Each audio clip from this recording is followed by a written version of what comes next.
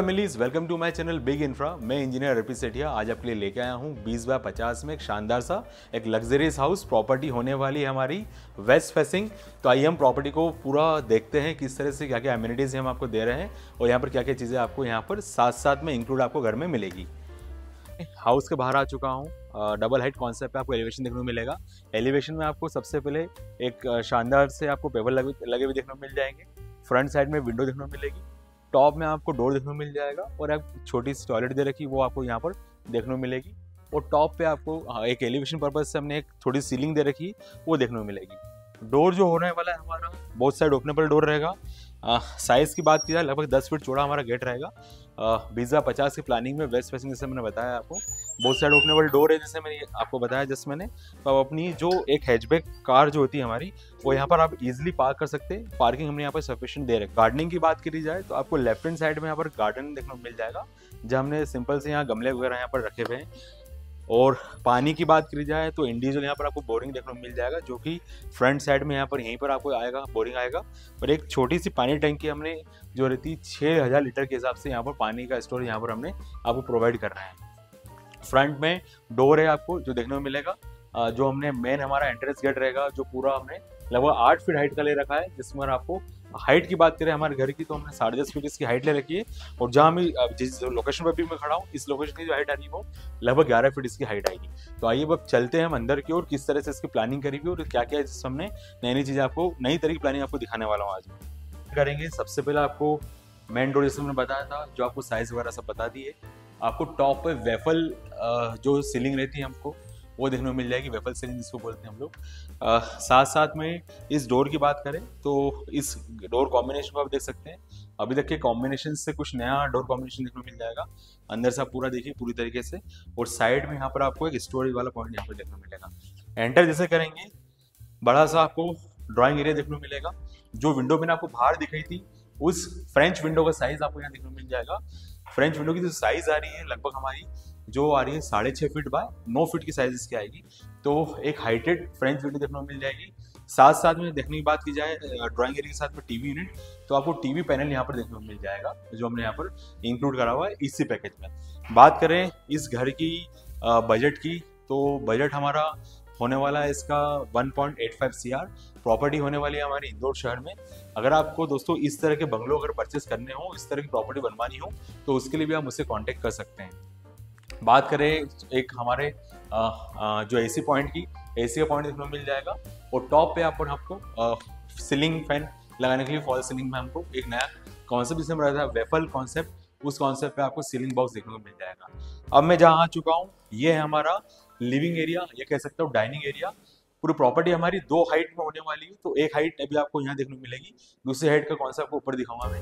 तो टॉप में आपको शेंडर देखने को मिल जाएगा सेंटर में आपको नए पैटर्न में शेंडर देखने को मिलेगा और जो हमारी डबल हाइट की जो वॉल थी, ये वॉल आपको देखने को मिलेगी नए पैटर्न में ग्रुप्स के साथ में। ये जो हमने करा हुआ है टाइलिंग करी हुई है, पूरी आपको टाइलिंग देखने को मिल जाएगी टिल आपको बीस फीट की हाइट पे।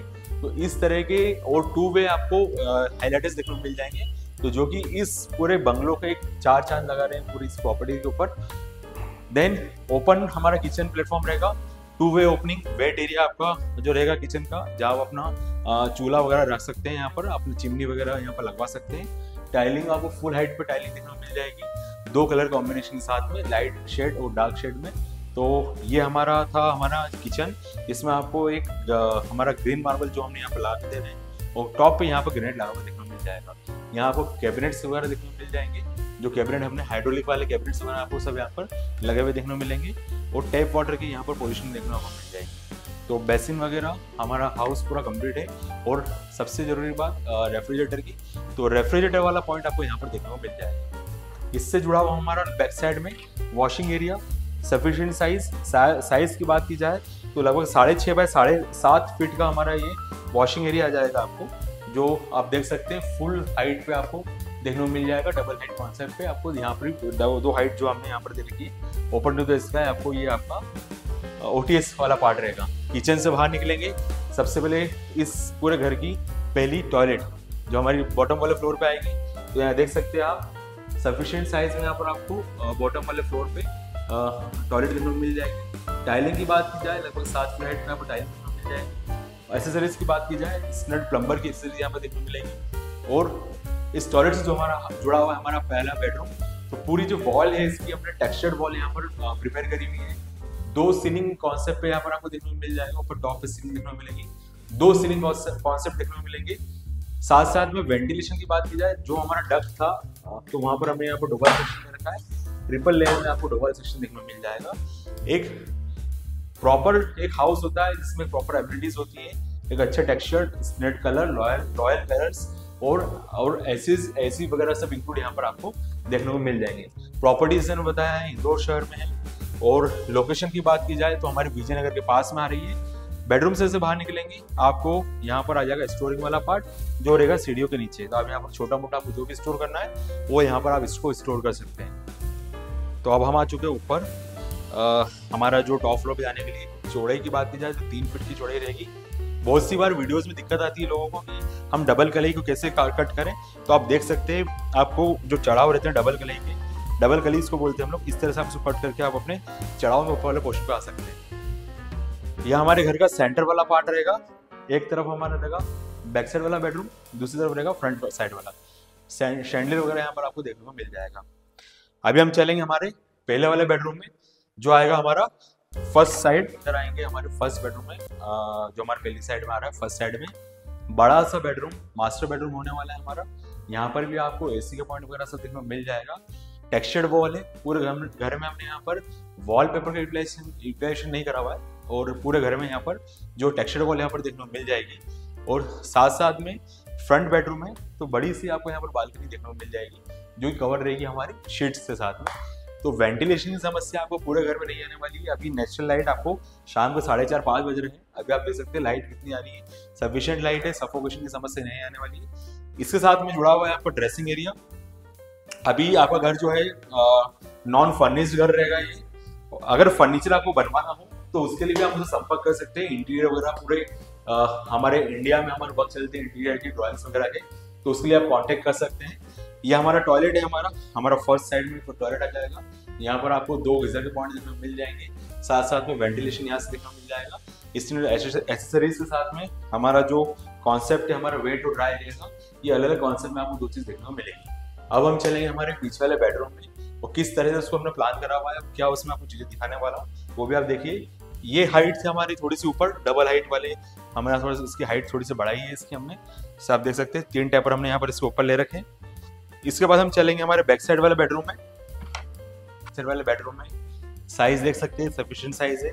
बैक साइड में भी आपको बालकनी मिलने वाली है राइट हैंड साइड पे आपको जो ओपन टू द स्काई रहेगी, सबसे पहले बालकनी देख लेते हैं हम लोग किस तरह से बालकनी को प्लान करा हुआ है। और इस बालकनी से ही आपको आपका नीचे का व्यू जो है आपको देखने को मिल जाएगा, जो कि आपको सीधा घर का बाहर का व्यू दिखाएगा। तो ये हमारा ग्लास था फिक्स ग्लास लगा रखा है हमने, ताकि आपको कंट्रोल अगर आपको करना हो, आप सुबह बैठ के यहाँ पेपर वगैरह पढ़े, और टॉप पे यहाँ पर वेंटिलेशन आप देख सकते हैं। ऊपर आपको फुल डबल हाइट पे यहाँ पर आपको वॉल देखने को मिल जाएगी। ओ टी एस वगैरह सब यहाँ पर प्रॉपर दे रखा है हमने। और जो बैक साइड का ओटीएस था हमने वो यहाँ पर किससे यूटिलाइजेशन करा वो भी आपको यहाँ पर टॉप से देखने को मिल जाएगा। बहुत सी बार हम इस वाली जगह को छोड़ देते हैं।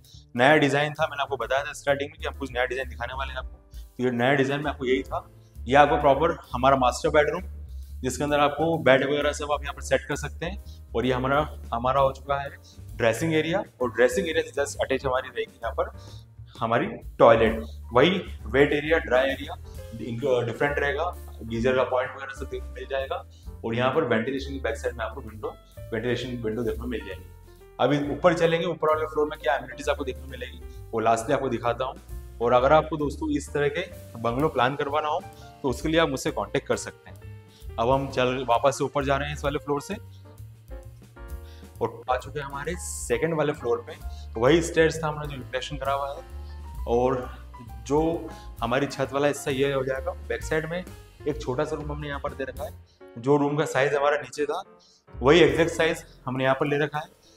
टॉयलेट वही अटैच टॉयलेट वही एक रूम हमारा। तो प्रॉपर्टी जैसे होने वाली है हमारी पूरी कंप्लीट फोर बी प्लानिंग के साथ में प्रॉपर्टी पूरी रहेगी आपकी ये। लोकेशन जैसे मैंने बताई आपको, इंदौर शहर, और ये हमारा लॉबी वाला हिस्सा, जो कि हमारे सेकंड फ्लोर पे आएगा, और इसके बाद हमारे रहेगी बाहर की तरफ़ बालकनी और टेरेस तो दोस्तों, कैसा लगा आपको हमारा ये बीस बाय पचास का नया हाउस जो हो रहा है इंदौर शहर में? अगर आपको वेस्ट फेसिंग प्रॉपर्टी अगर आपको पसंद आई हो तो दिए हुए नंबर पे मुझसे कांटेक्ट कर सकते हैं। मैं इंजीनियर एडमिनिस्ट्रेटर चाहे ये प्रॉपर्टी परचेस करना हो या इस तरह की प्रॉपर्टी आपको डिज़ाइन करवाना हो, उसके लिए ज़रूर मैं आपकी मदद करूँगा, चाहे इंदौर शहर हो, चाहे पूरा इंडिया हो। Thank you